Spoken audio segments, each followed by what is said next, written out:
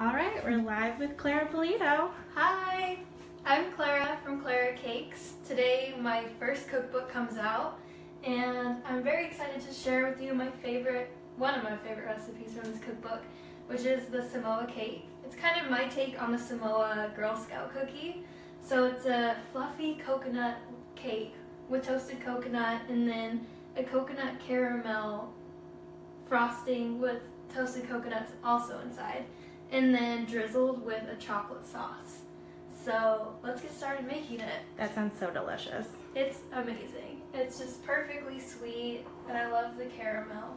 Um, so first I'm actually going to stir together the coconut milk that I actually used from a can. Um, just because that way it's, it's always like the most fresh and it's not watery. And I'm actually adding in coconut vinegar. What is coconut vinegar? It's actually going to be our egg substitute for today. It's a lot like apple cider vinegar. Um, and it definitely, it kind of binds like an egg would. And it makes for a really fluffy, delicious cake. And I just love using coconut vinegar to complete the coconut cake. Cool. Okay, so I'm just going to give this a good whisk until it's kind of foamy. And totally combine. Blue Res says hi. Hello, thanks for joining in. And there's also someone tuning in from Pakistan. Wow, that's really cool. What time is it there? I always wonder, what's the time difference? We'll have to Google that later. So I'm actually going to set aside the coconut milk and the coconut vinegar so it can curdle together and really get combined. Um, it's kind of like making a vegan buttermilk. Cool. Um, so while that is curdling, I'm going to sift the all-purpose flour, and this is two and a half cups flour. And this is actually a cup of coconut milk and then uh, one tablespoon of coconut vinegar. And for the people just tuning in, what are you making again? Samoa cake, just like the Girl Scout cookies, but in cake version. Oh my gosh. Okay, so there is the two and a half cups flour, and here is two tablespoons baking powder, and then two teaspoons baking soda, and half a teaspoon salt. And keep in mind I'm doubling this recipe so I can have a delicious two layer nine inch cake and feed lots of people. So I'm just gonna give this a good sift. And I Shake like it to, out, girl. Yeah, look at that. And I like to sift these ingredients because it makes the cake lighter and also um, the baking soda clumps get all all thin and you don't have clumps in your cake, which you don't. Okay, cool. So now that this is sifted, I'm going to whisk together the vegan butter and I use Earth Balance. It works just like normal butter.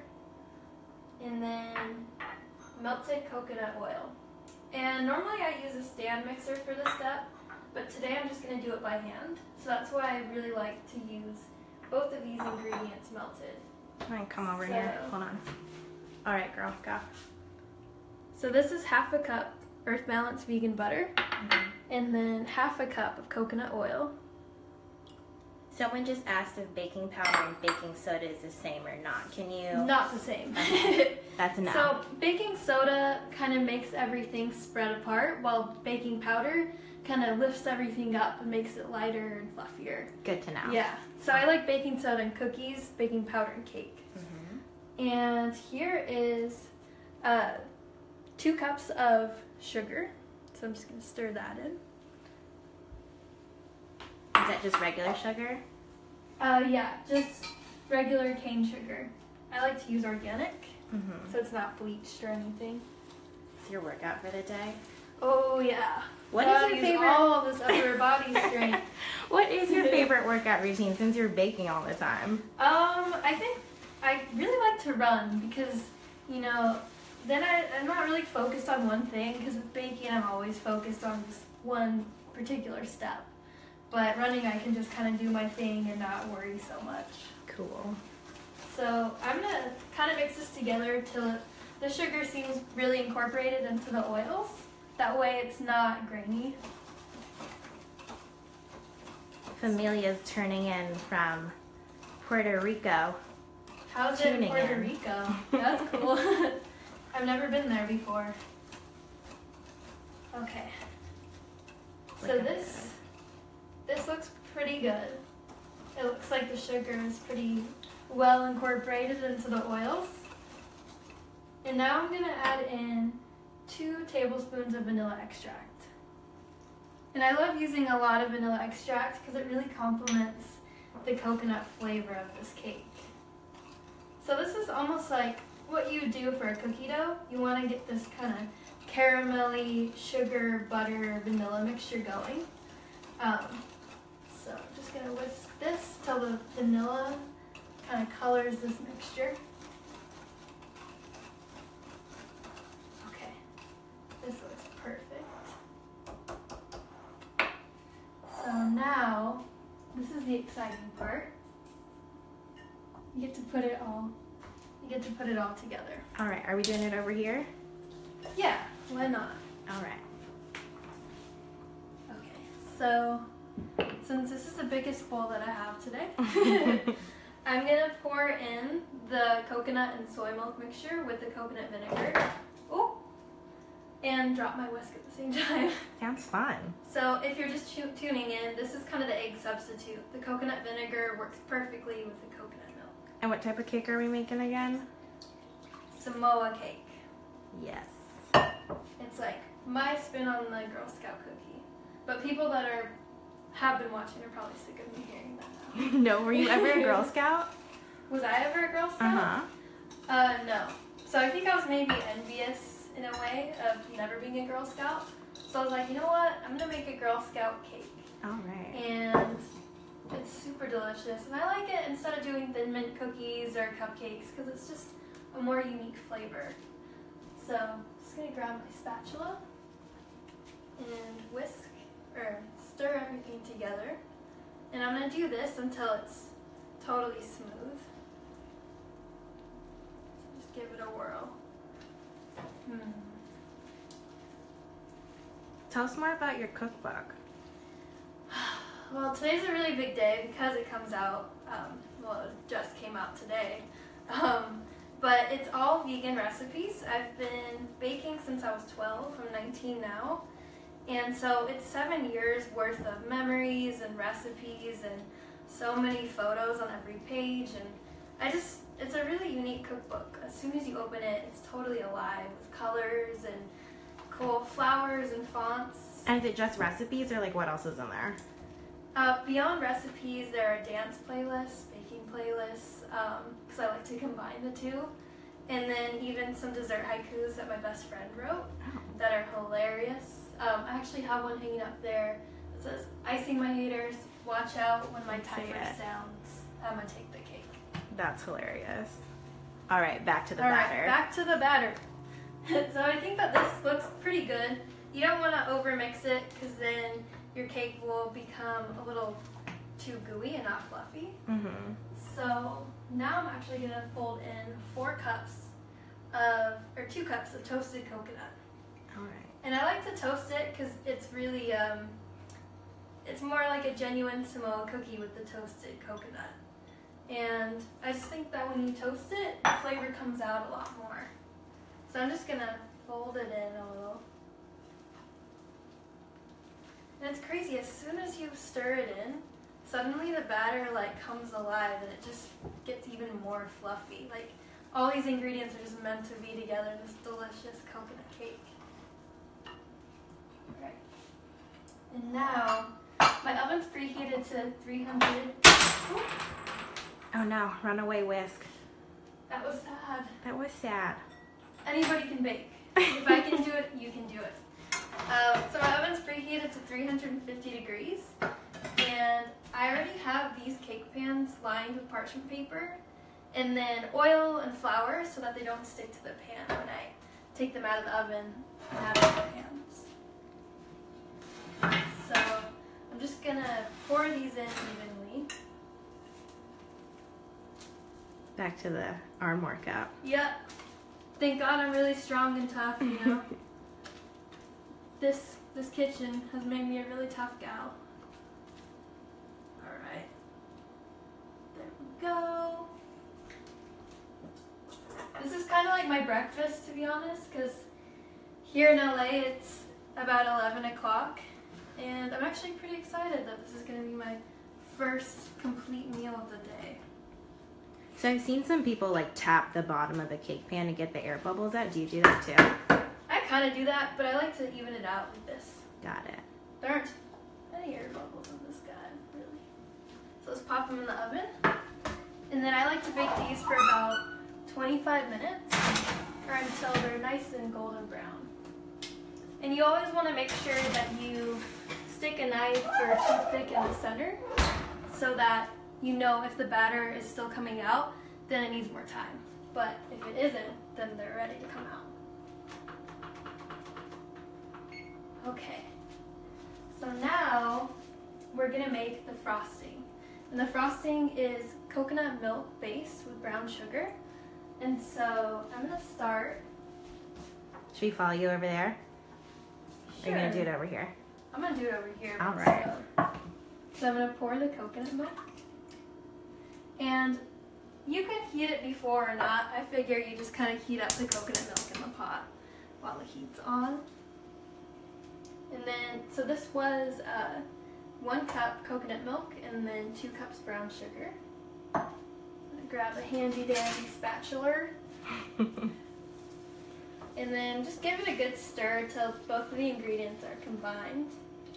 And then you're gonna let this mixture kind of boil on its own for a little while till it thickens. So it's a lot like making caramel, where you keep it under a medium heat till it becomes nice and thick and delicious.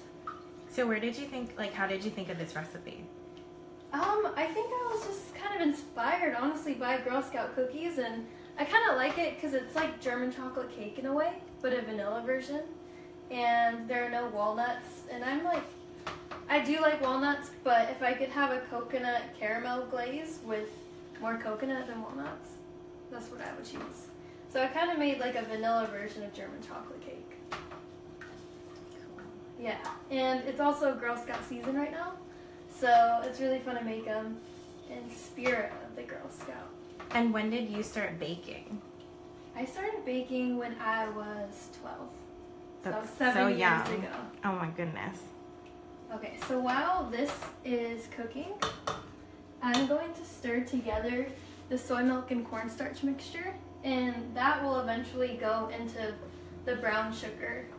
Uh, and that helps thicken it and almost create like a pudding like texture.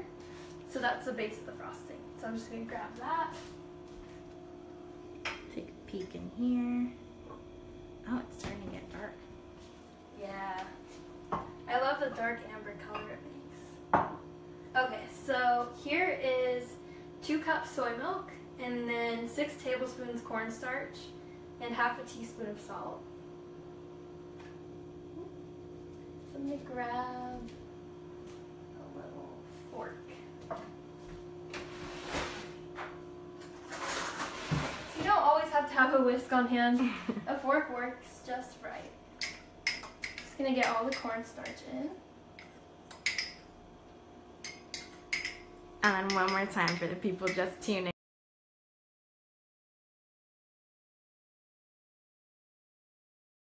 Okay. So it's a toasted coconut cake layer, and then with the coconut caramel frosting with more toasted coconut, and then a chocolate crunch to cake, which is sometimes unusual, but I find it super delicious. Breakfast of champions. Yes, absolutely. So you just want to mix together the soy milk and cornstarch until the cornstarch clumps kind of go away.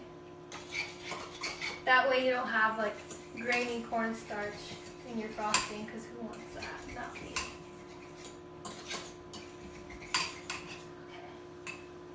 So I'm actually going to do a little multitasking. Um, while this brown sugar and coconut milk is kind of thickening up on its own with this heat, I'm going to pop in coconut flakes and I'm going to grab that. Okay. She's back. Here we go, and I'm back. So,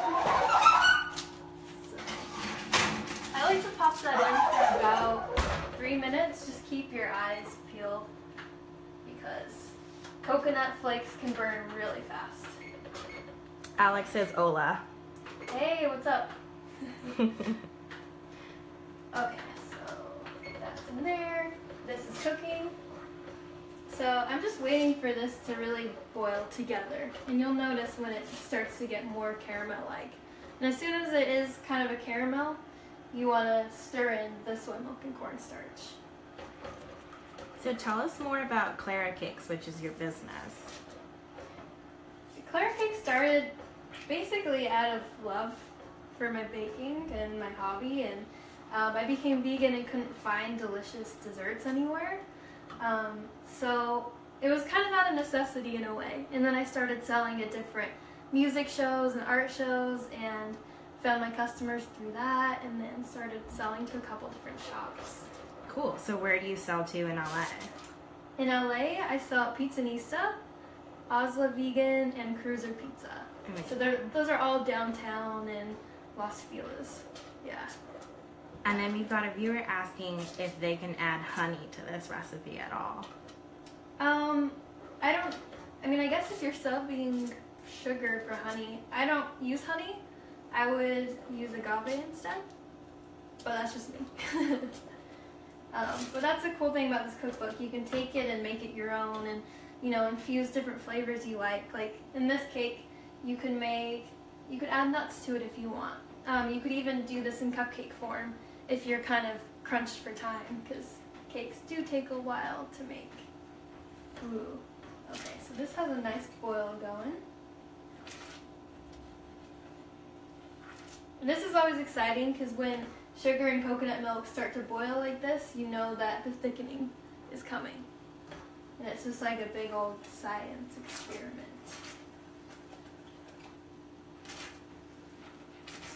Right. And then I'm gonna do some even more, even more multitasking.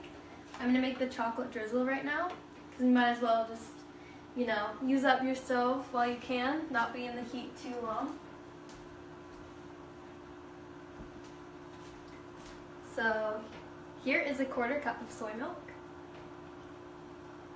And I'm gonna put that on low heat. Okay, and it looks like this guy is totally thickening up. So I'm gonna lower the heat. And this is on the caramel sauce. Okay. It smells so good. I know. Oh my god. I wish you guys could smell it. I wish there was like a smellogram. You know? I think pretty soon. I remember somebody commented on one of my photos saying that they wish there was a scratch and sniff feature on Instagram. And I think that's absolutely brilliant. Your next business. Yeah, I know, huh? Yeah, if anybody wants to uh, invest in that idea, I think it's a multi-billion dollar idea. Okay, so this is just getting there. And then this is, again, to remind you, the soy milk for the chocolate drizzle. And I'm going to cook this until it just starts to boil. And then afterwards, I'm going to stir in the chocolate chips. And that is a cup of bittersweet or semi-sweet chocolate chips. And I prefer the vegan brand because I bake everything vegan. So I'm gonna stir the soy milk and cornstarch mixture into the caramel mixture. I'm just gonna get this one more whisk because sometimes the cornstarch gathers at the bottom, so you just want to make sure that you get it all.